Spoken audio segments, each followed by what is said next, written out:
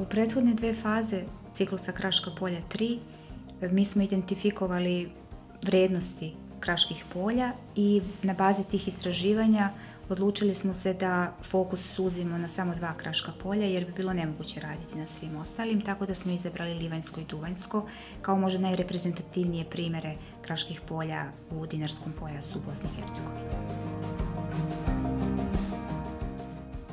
Kroz radionice smo educirali polaznike i farmere iz našeg područja o načinu e, pisanja projekata prema Euronaturu. E, isto tako smo e, podigli svijest o očuvanju okoliša i važnosti biodiverziteta u našem području.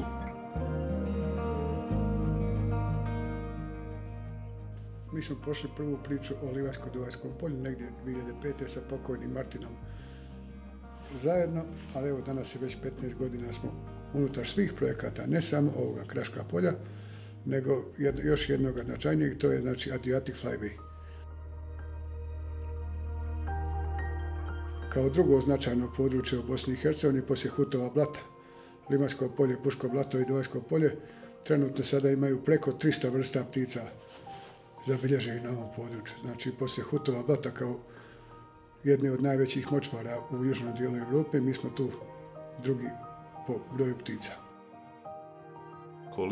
Polje, pa najbolje reći da to je dom. Evo. Ja sam rođen u tom e, dijelu Livanskog polja, drugo, Livansko polje je izvor života. Onaj ko zna šta sve postoji u Livanjskom polju, vjerojatno će se složiti sa mnom. Imamo planine, imamo polje, imamo ptice, imamo sva, sve. Osmislili smo projekat malih grantova e, preko koji bi pomogli lokalnom stanovništvu da realizuje neke svoje male projekte koji se tiču održivog razvoja ili stočarstva i borbe protiv sukcesije ili turizma.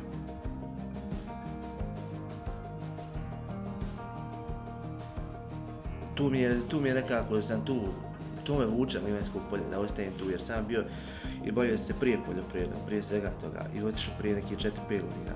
I onda sam otišao u Njemačku, bio sam gore godinu dana, vratio sam se i tu sam cijelo vrijeme se lomio šta da, da radim, šta da pokrenem ponovo, da, da onda me opet vuko tu poljoprivreda, poljoprivreda i tako da mi tu nekako me to vuče tu, ne znam.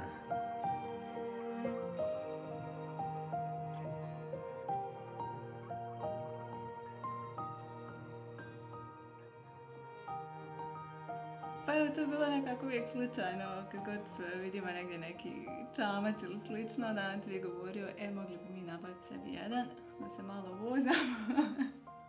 I onda je nekako od toga sve počelo, kao što ako nabavimo sebi jedan, nema nigdje ništa slično, mogli bi mi nabaviti još koji, pa početi to iznajmljivati, ljudima moglo biti zanimljivo. I eto, na kraju se ispostavilo da je ljudima stvarno zanimljivo.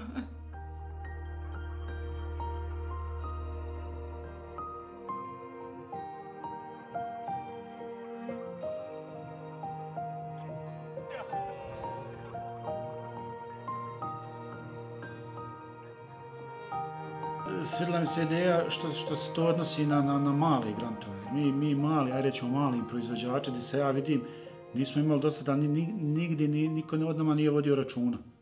Ne znamo na jesi upozna s tim, bilo kakvi poticaj, bilo kakva pomoć, sve se baziralo na, na, na velike proizvođače, novi što imaju.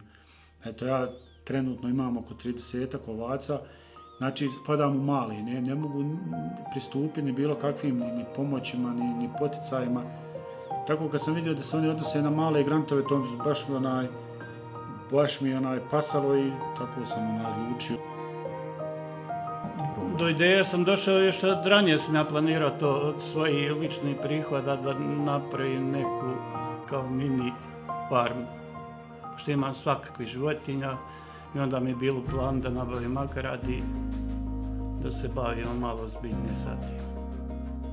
Pa uspio bi sigurno završiti bez tih sredstava, ali ne bi u ovako kratkom vremenskom roku i što god pri čovjek prije krene, prije ćemo i završiti, doći do većeg cilja i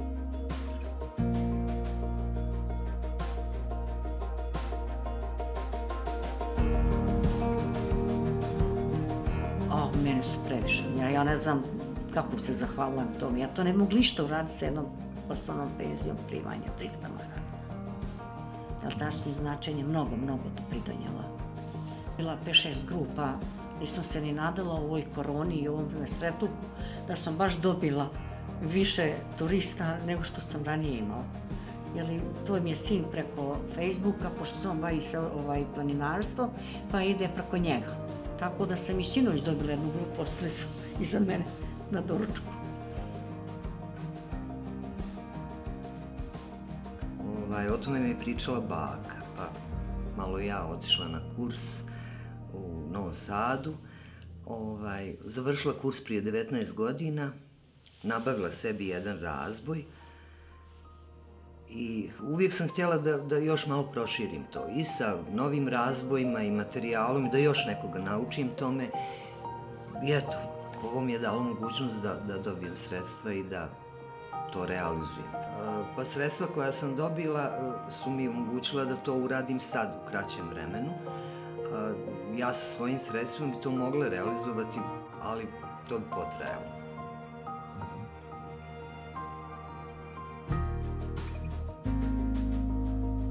jednostavno, naj, najveći problem je bio to predočiti na papir, jel, osmisliti cijelu priču, napisati, a ideja kao ideja već tu postoji, već znam uh, kamo bi razvijao to pčelarstvo, u koje sve smjerove. Jer opet ponavljam, nije to toliko uzak uh, prostor da se bazira samo na proizvodnji meda, nego još dosta, dosta široko polje bavljenja, tako da uh, nije bilo teško prikupiti ideje što se tiče olakšanja tijekom rada, tu se tek vidi pravi napredak.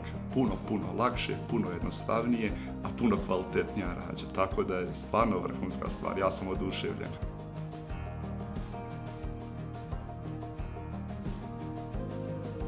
Ono što mi je nedostajalo, to sam ovaj, i, i, i nabavio recimo mašinu za, za vrcanje koja je stvarno kvalitet, veliki kvalitet u vrijednosti čak 2200 maraka, to malo ko ima ovdje. I, uzeo sam 15, 15 društava. Imao sam i svoje, oko, oko, oko 20, imao svoje društva i tako da sam ovaj 15 od toga uzeo društava.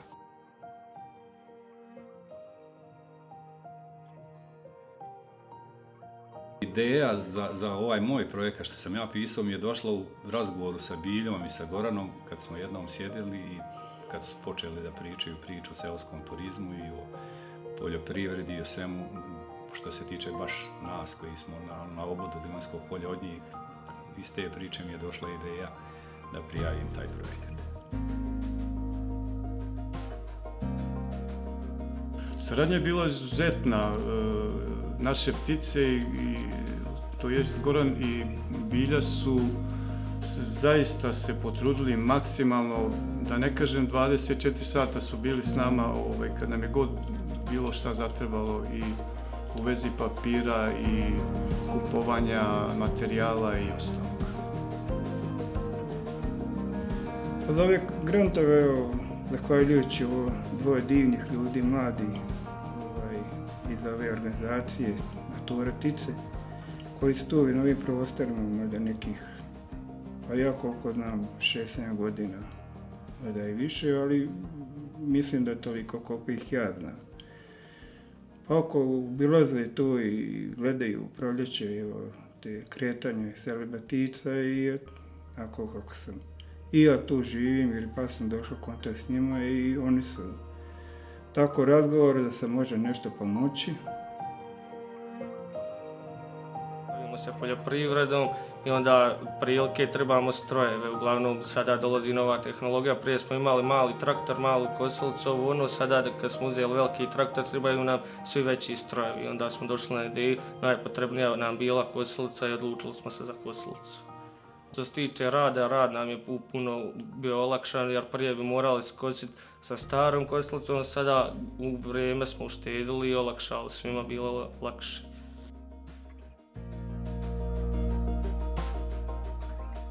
Budući da je posljednjih godina izraženo paljenje korova na našim poljima koje predstavlja ne problem samo za tlo nego i za nas poljoprivredne proizvođače na ovim krajima gdje dolazimo svake godine u situaciju da zbog e, okolnih požara se riskira naš nasad da preko noći nestane ili pčele ili što god naše štale farme. Tako da ovaj, to nam je bio prioritet da ima svatko od nas gospodarstava po jednu prije svega brentaču kojom bi mogli e, lokalizirati manje požare, ali isto tako priskočiti u pomoć jedni drugima ili drugim kolegama koji nisu dio zadruge, nego su jednostavno kolege u poslovanju, a tu su i trimeri koji nam pomažu u redovnom održavanju naših nasada kako bi ta trava bila što niža, kako ne i održavati okolo da ne bi evo neki drugi slučajni prolaznici tu zapalili.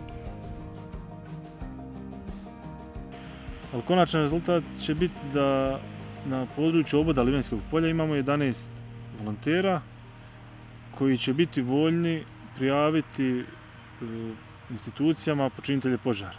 Znači, tu smo, to je taj represivni aspekt projekta koji znači, ide direktno na počinitelja požara.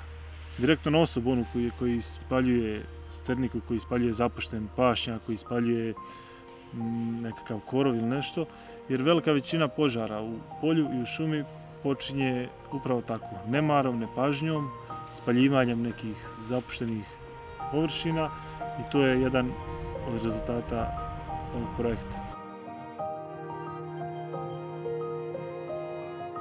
Mi smo farmu pokrenuli prije pet godina i vrlo brzo smo uvidjeli da u Livnu postoji jedan problem, a taj je da, je da su vrijedni prirodni pašnjaci zbog nedostatka stočarstva u zadnjih 30 godina jako zarasli u, u grmlje i šikaru i time te e, površine postaju ekonomski praktički bezvrijedne.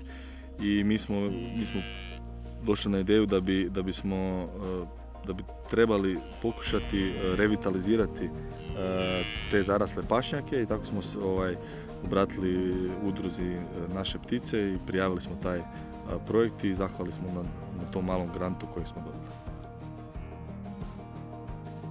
Pokušamo da povežemo ta dva polja, znači e, tokom rijeke Šujice i, i, i to nam je glavni cilj, znači spojiti ponor Kovači i izvor Špilju Ričnu koja je u faktički u polju, znači koja tvori Guško jezero. I rad toga dijela smo i osnovno respološko društvo i evo tu smo najviše posla i odradili, znači to je, to je, cilj nam je spojiti ta dva polja lakše je realizirati neki projekat, lakše je povesti ljude u neki objekat kad ih imaš čim opremiti, kad imaš ponuditi adekvatnu rasvjetu koju smo kupili, kad, kad možemo ovaj, osigurati uh, sa konapim koji smo dobili, recimo iz ovog granta. Dobili smo jednu savršenu bušilicu koja može onaj, napraviti recimo 100-150 trupa da bi zabušili taj bi osigurali ulazak u objekt. Znači, normalno da nam je grant pomogao puno.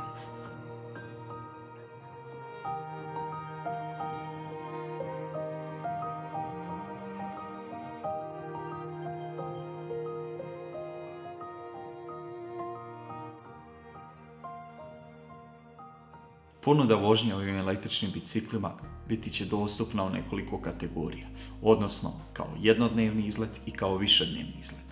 Kroz jednodnevne izlete posjetitelji bi posjetili Livno, naše lokalne planine, jezera, rijeke, te bi uživali u Livno i njegovoj okolici.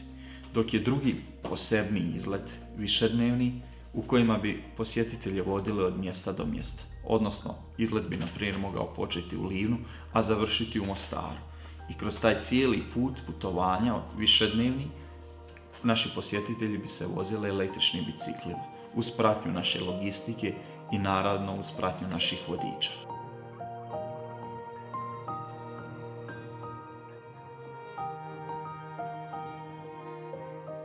Ideja nam je bila da ulažemo u razvoj ljudi koji žele da ostanu ovde i kojima će ta sredstva zaista mnogo značiti da unaprijede svoj, svoj život i, i, i, rad.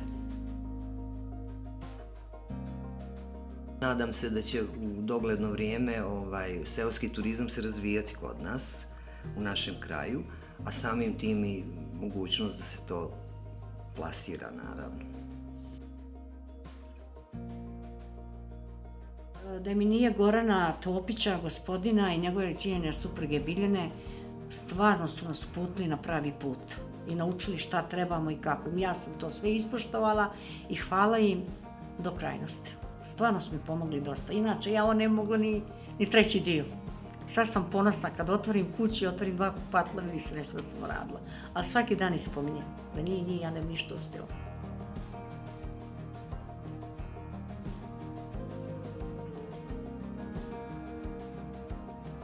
Cijelo to polje e, i planine koje ga okružuju nije samo izvor prihoda, nije samo e, prostor na kojem se boravi.